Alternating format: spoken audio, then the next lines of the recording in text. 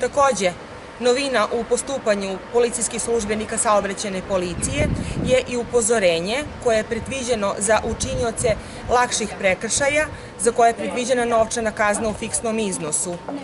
Uslov za izdavanje upozorenja jeste da učesnik u prethodne dve godine nije evidentiran kao učinilac prekršaja i nije upozoren.